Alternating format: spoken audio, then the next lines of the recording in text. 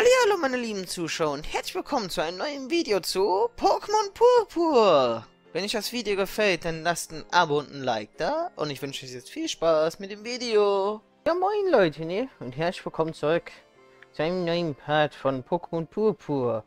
Ja, beim letzten Mal haben wir das letzte Team der Team Star Bande vernichtet, die Ruckbad Bande. Und heute ist der Chef dran, Cassiopeia die, die uns überhaupt an Team Stardust beteiligt hat, also an der Operation. Aber vorher haben wir natürlich ein paar Pokédex-Einträge zu erledigen. Äh, über mir ist wie immer ein Zeitstempel, wenn ihr die überspringen wollt. Es sind diesmal nur 10, keine Sorge. Und äh, wir legen dann jetzt direkt los. Hier haben wir als erstes Schneebedeck. Das Frostbaum-Pokémon. Sie scheinen neugierig auf Menschen zu sein und versammeln sich bei Fußspuren, die sie auf verschneiten Bergen finden. Und wir haben auch direkt hier die Entwicklung. Rexblizzer, das Frostbaum-Pokémon. Sie erscheinen beim Blühen der Schneeblumen und verschwinden wieder, sobald diese verblüht sind. Niemand weiß, woher sie kommen. Dann haben wir als nächstes Pet Steve, das Eisschollen-Pokémon. Man sollte sich in Acht nehmen, wenn es niesen muss. Bekommt man den eisigen Nasenschleim ab, führt das zu Frostbollen. Und hier direkt die äh, wesentlich aggressivere Entwicklung. Siberio, das Packeis-Pokémon. Im Norden wird es als der weiße Dämon gefürchtet. Mit seinen eisigen Klauen und Fangzähnen fällt es seine Beute an. So, Drim, dann mach du mal weiter. Na, ihr Schlingel, hier haben wir als erstes Fiaro, das Stichflammen-Pokémon. Es ist aufgeregt versprühtes Funken aus den Zwischenräumen seines Gefeders. Seine Federn werden als feuerfestes Material verwendet. Als nächstes habe ich Krawell für euch, das Fellkrabben-Pokémon. Seine Schläge sind stark, aber es kann sich nur langsam bewegen. Aus seinem Mund schießt es eisige Blasen, die seine Gegner immobilisieren. So, als nächstes Magneto, das Magnet-Pokémon. Mehrere miteinander verbundene Magnetide bilden dieses Pokémon. Es heißt, es erscheine in Massen, wenn vermehrt Sonnenflecken auftreten. So, Noah, jetzt bist du dran. Danke, ich mach dann mal weiter. Das ist Kronjuwel, das Jahreszeiten-Pokémon. Dieses Pokémon hat viele Bewunderer, doch seine Form zu dieser Jahreszeit erfreut sich keiner allzu großen Beliebtheit. Als nächstes haben wir dieses wunderschöne Vogel-Pokémon, das ist Staravia das Star-Pokémon. Es neigt dazu, sich in großen Schwärmen zu bewegen. Zwischen diesen kommt es zu heftigen Kämpfen. Und als letztes für heute haben wir hier Suilord das Dornenfisch-Pokémon. Es lebt auf dem Grund von Teichen und Sümpfen. Man kann beobachten, wie es Felino auf seinem Rücken von einem Ufer zum anderen befördert. So Shining, du bist dran, hilft der armen Cassiopeia. Ja, Leute, damit haben wir jetzt erstmal alle Pokédex-Einträge abgehakt. Das Problem ist, jetzt ist wieder Tag. In der Zeit, wo ich die Pokédex-Einträge gemacht habe. Ich weiß nicht, ob ich hier einfach irgendwo zur Nacht skippen kann.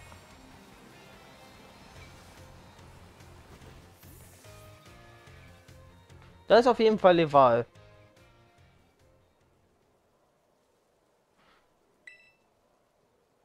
Leval?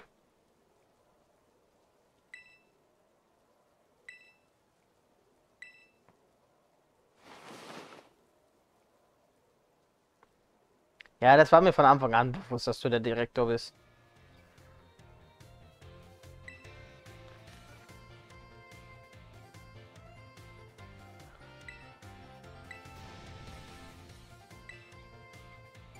Was sie nicht sagen.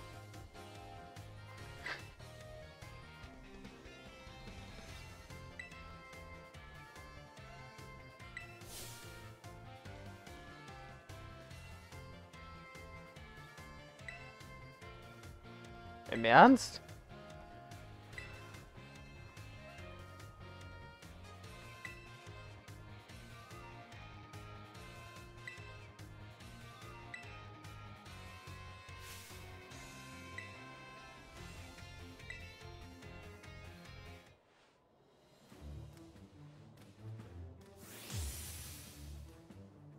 Ich glaube die nicht, dass du der Boss bist. Ich denke eher, das Pikachu-Mädchen ist es.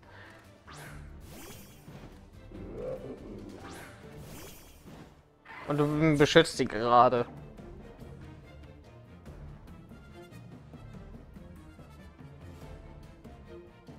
Oh, Level 60. Die können hier auf jeden Fall jetzt was wieder. Und auch sechs Pokémon.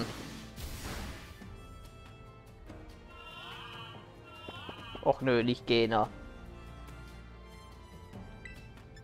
Turbo-Tempo.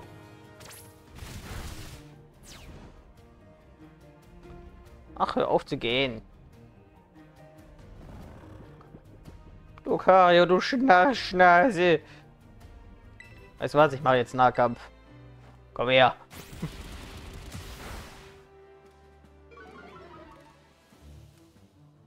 Bisschen Verteidigung kann ich ruhig einbüßen.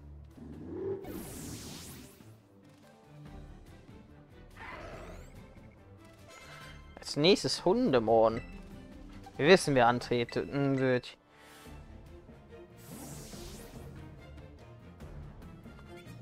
Aber auf jeden Fall Respekt, dass du den eigentlichen Meister von dem Team beschützt. Ist tatsächlich sehr nett. Bogentanz.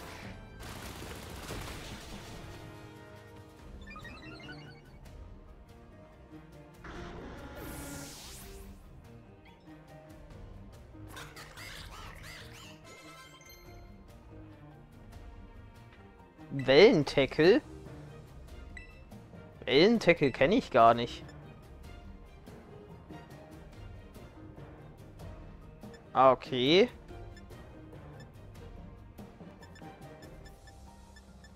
Nehme ich mal da anstatt Aqua-Durchstoß. Ich will Wellentackle sehen. Aber nicht gegen Rex Blizzard.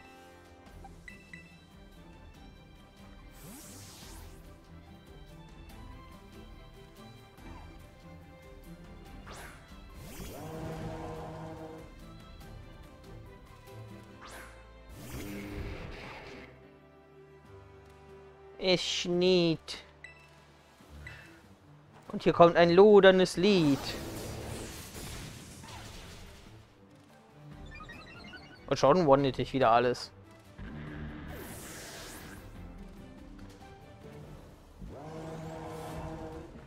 Mortipot. Ich sag's mir jetzt auf den ersten Blick nix.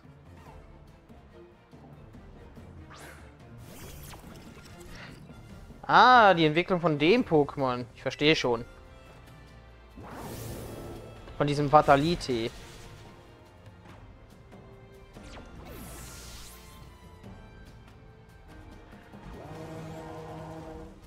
Als nächstes kommt Hut Sasa.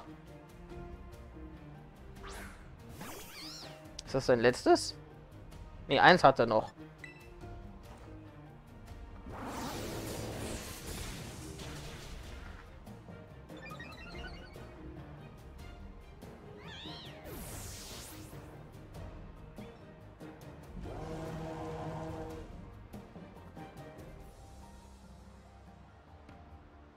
Bei Londa. Los, Mascagato.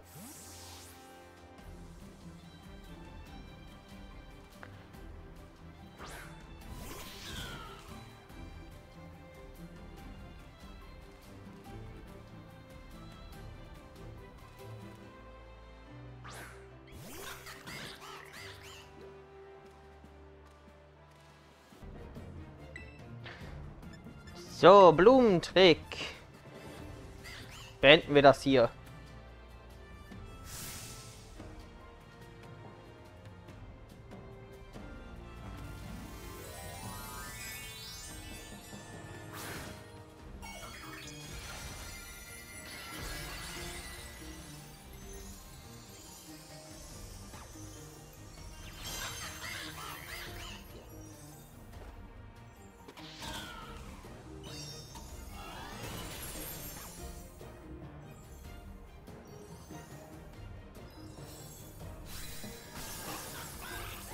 So, und jetzt den richtigen Gegner, bitte. Ich finde es nett, was die getan haben, Herr Klavil.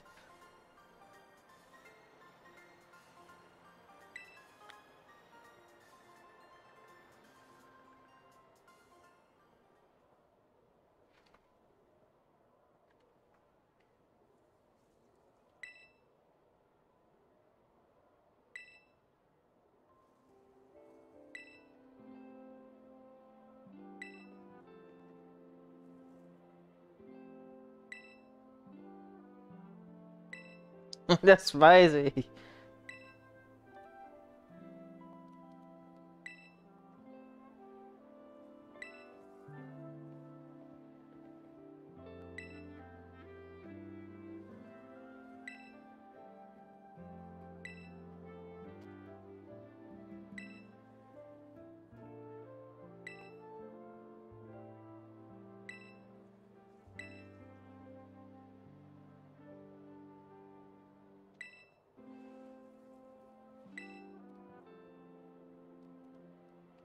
Sie können sich auf mich verlassen.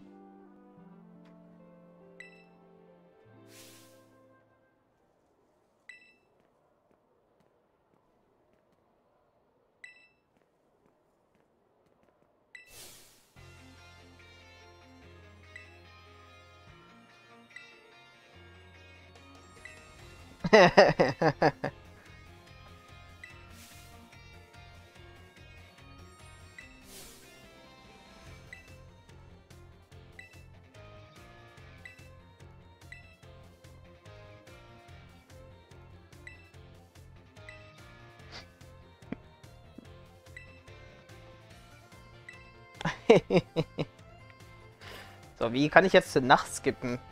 Naja, wenn wir schon hier sind, können wir ja erstmal gucken, hat sich hier was geändert? Nicht wirklich. Obwohl, Hauswirtschaft und Kunst gab es, glaube ich, nicht. Okay, jetzt sind wir beim Sportplatz und da ist sie. Cassiopeia.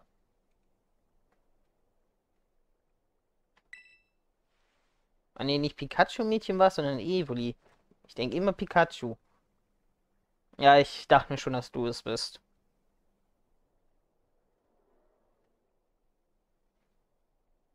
Es hat übrigens automatisch so nachts geskippt, als ich hier hinkam.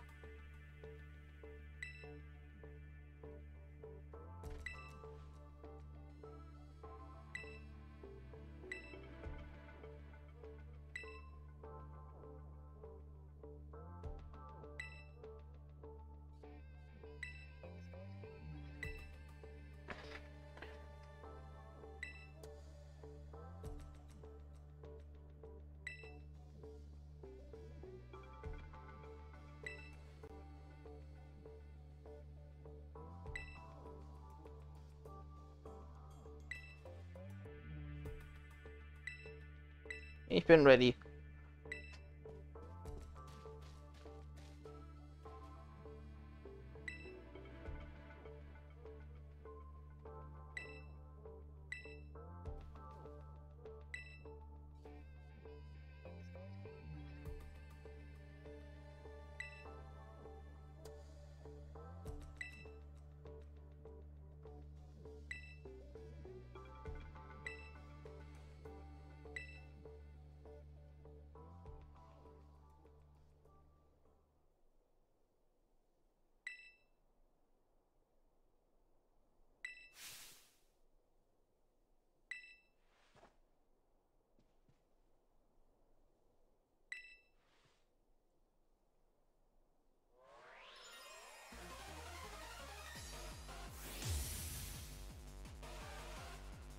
Der Kampf wird wahrscheinlich ein bisschen schwerer. Oh, direkt mit einem Nachtara auch noch. Gut, dass ich Lokario an vorderster Front habe.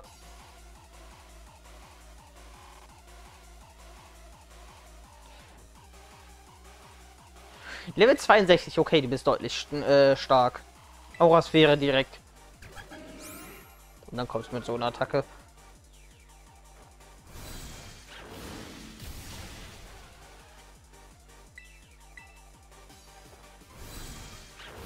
Okay, nach Tara ist schon mal Geschichte. Tradest äh, du jetzt mit allen äh, Evolutions-Pokémon an? Ich glaube, die hat echt einfach nur alle Evoli-Pokémon. Die Kampfmusik ist auf jeden Fall geil.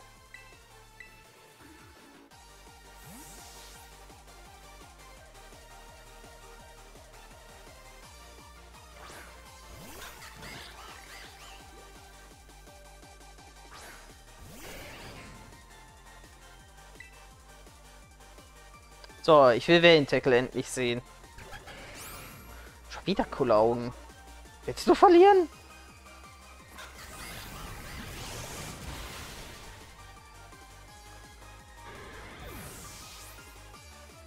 Greif mich lieber an, anstatt meine Werte senken zu wollen. Als nächstes kommt Blitzer.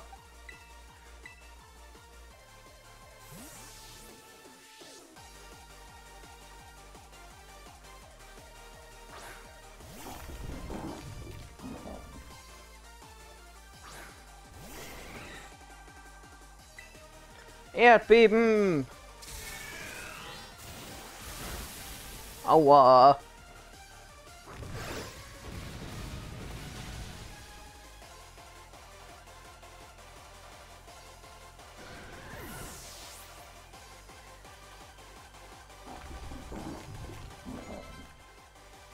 Als nächstes kommt Aquana.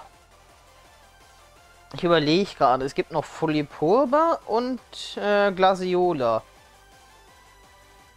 Das heißt, bei äh, dem nächsten Pokémon mache ich dann äh, Terra-Kristallisierung mit Skille. Sollte dann schon ausreichen. Ich mache einfach Blättersturm. Ich glaube, Cosima will einfach nicht gewinnen.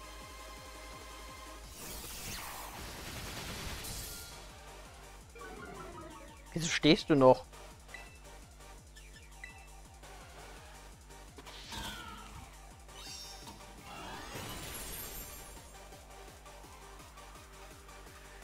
Ich vergesse immer, dass Blumenträg Volltreffer Garantie hat. Ja, Fully-Pulver.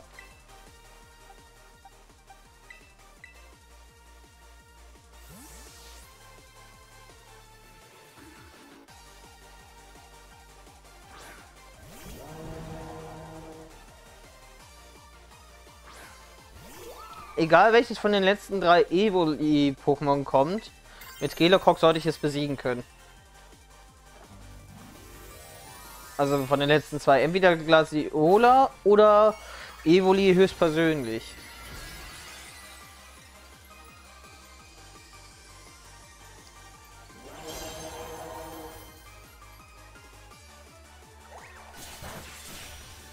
Nicht sehr effektiv.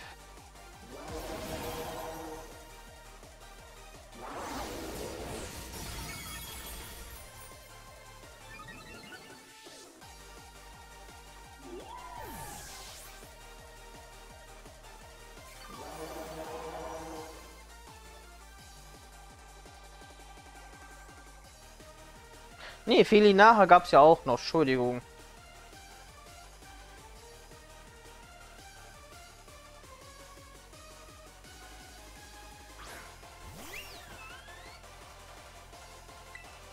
Ich würde mal sagen, wir beenden es mit einem großen Knall.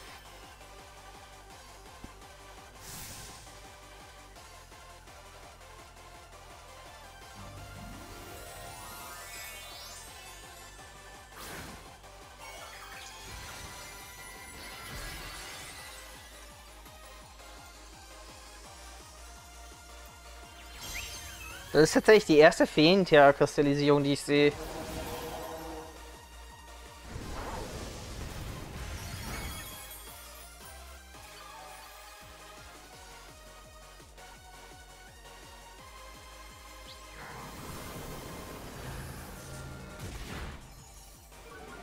Tja, in der Form ist äh, Skeletor kein Geister-Pokémon mehr.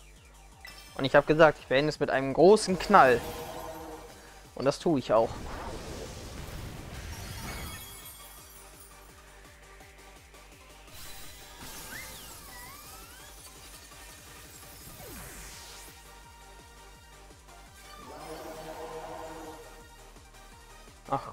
Ach,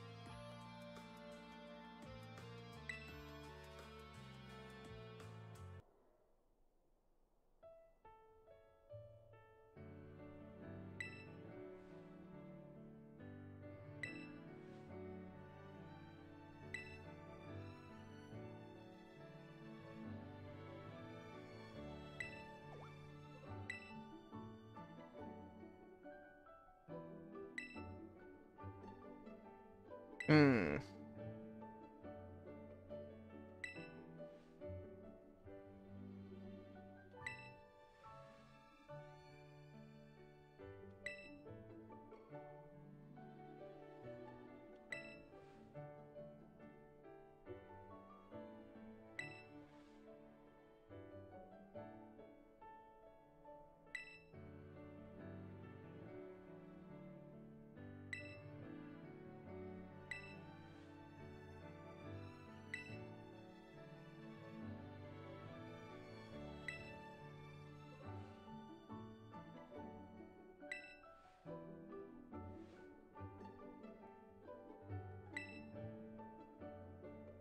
Rührend. Einfach nur rührend.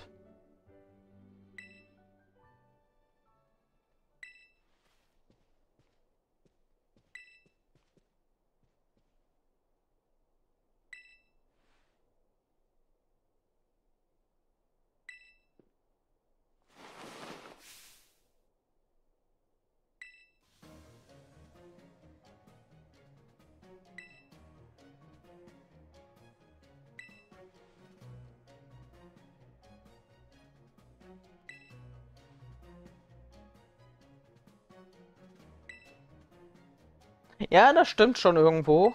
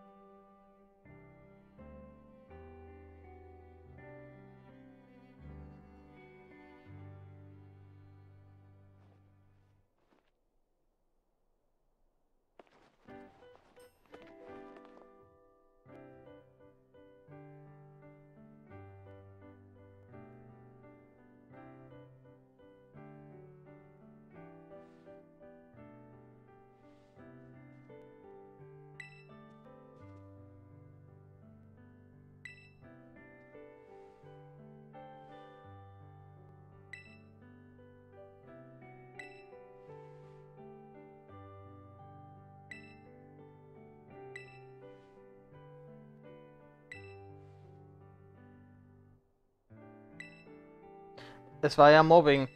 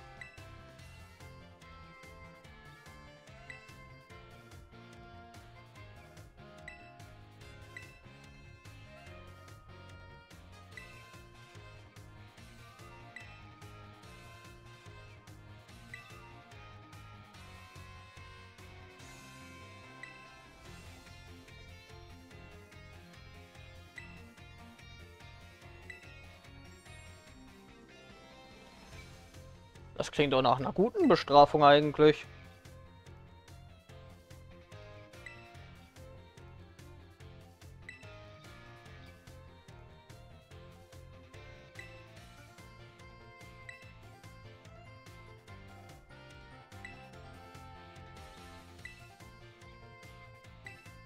Klingt doch super.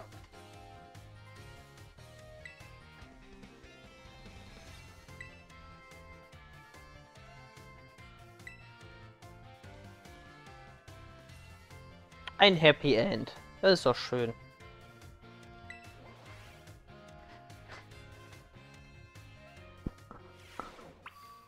Komm, gehen wir noch in das Büro. Herr Direktor, hier bin ich.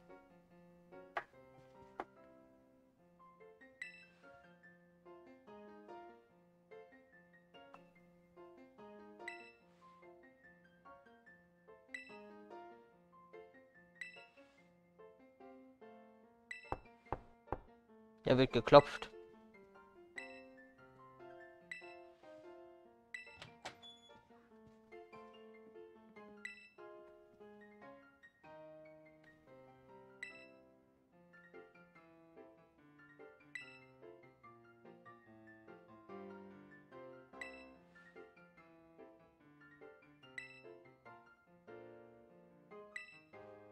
Was wäre das überhaupt?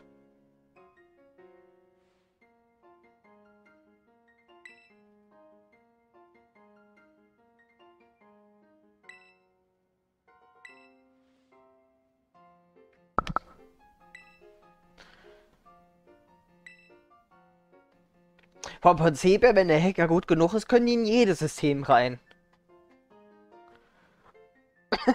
Und dann auch noch zu sagen, so schwierig war das doch gar nicht.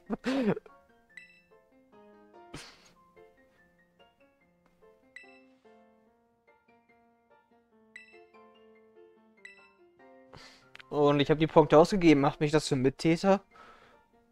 Das ist eine sehr gute Frage.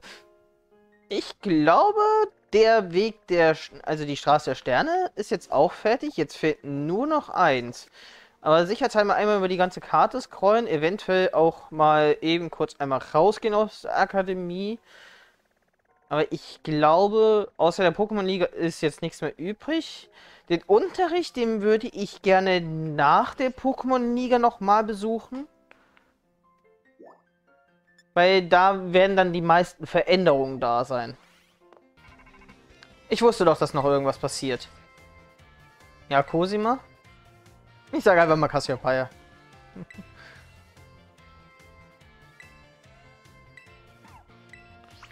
Klar, das Gespräch können wir noch eben kurz führen. Der Part ist bei mir eh schon ein bisschen länger. Dann machen die paar Minuten auch nichts mehr. Komm her, Cosima.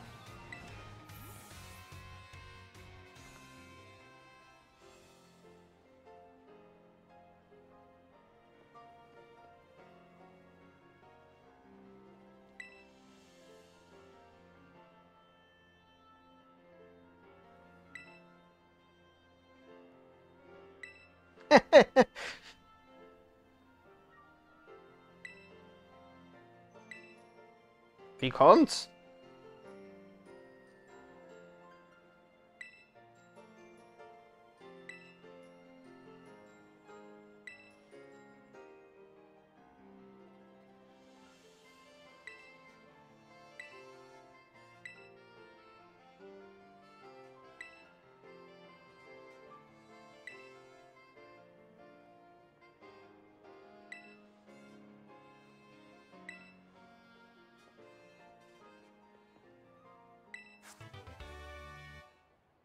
Mir gerade die stärkste Drachenattacke einfach so gegeben?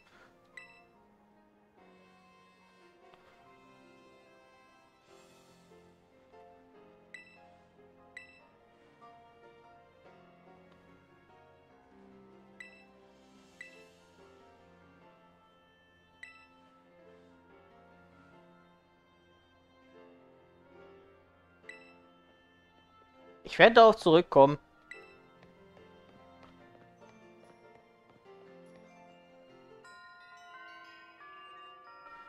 Und damit haben wir die Straßensterne endgültig abgeschlossen.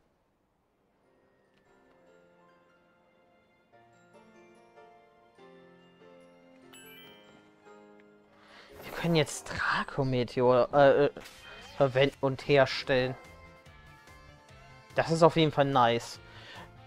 Okay, Leute, storytechnisch haben wir jetzt nur noch die Pokémon-Liga vor uns. Wir haben äh, den Essensweg geschafft und den äh, Sternenweg. Jetzt fehlt nur noch der Arena-Weg. So nenne ich die drei Wege jetzt einfach mal. Also, beim nächsten Mal sehen wir die Pokémon-Liga. Die Pokémon-Liga wird eventuell sogar in zwei Parts unterteilt, je nachdem wie stark die sind. Und ich würde sagen, wenn es euch gefallen hat, Leute, dann lasst ein Abo und ein Like da. Und wir sehen uns beim nächsten Mal wieder. Ciao!